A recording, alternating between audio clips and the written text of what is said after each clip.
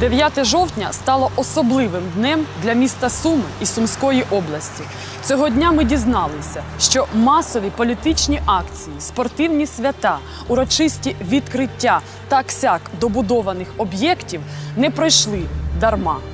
Сумщина стала лідером із захворюваності на коронавірус, подвинувши Тернопільську область на друге місце. Цього ж дня Державна комісія з питань техногенно-екологічної безпеки та надзвичайних ситуацій прийняла рішення про те, що місто Суми з 12 жовтня відноситься до карантинної червоної зони. Що це означає? А це означає, що знову закриються усі навчальні заклади, зупиниться рух громадського транспорту, закриється усе сполучення між населеними пунктами. Малий і середній бізнес знову понесе втрати, і родини знову будуть змушені думати, чим нагодувати своїх дітей у той час, коли більшість населення нашої держави житиме нормальним життям.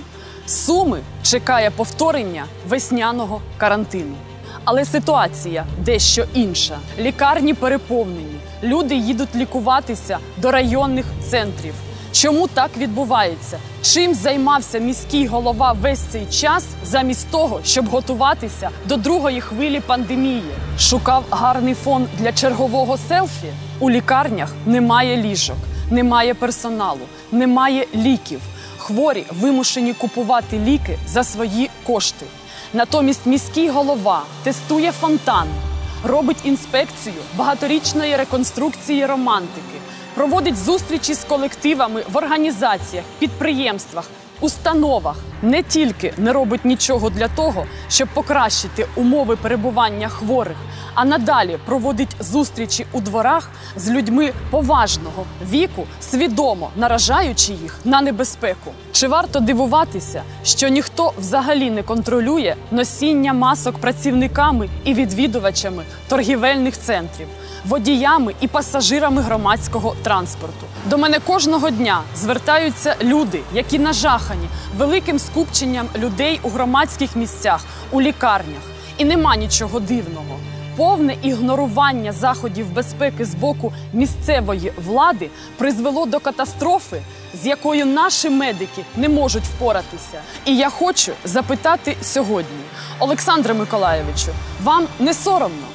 Не соромно запрошувати людей на конкурс краси серед студенток у оновлену романтику в той час, коли реєструють щодня більше 200 хворих. Вам не соромно витрачати кошти на фонтани, які нікому не потрібні взимку, в той час, коли люди чекають результатів ПЛР-тестів більше тижня. Ви особисто несете відповідальність за все те, що відбувається у нашому місті. За безлад, безконтрольність і безкарність, які призвели до поширення хвороби. І я, як народний депутат, вимагаю посилити контроль за дотриманням карантинних обмежень. Вимагаю замість агітації в робочий час із залученням адмінресурсу всі свої сили і кошти мобілізувати на допомогу хворим. Люди, які не мають коштів на лікування, не повинні помирати тільки тому, що у вас активно іде передвиборча кампанія. Час зрозуміти, мова йде не про симпатії електорату, а про життя наших громадян. І я, як представник громади, вимагаю від вас дієвих заходів по боротьбі з пандемією. Це ваш останній шанс реабілітуватися перед жителями міста.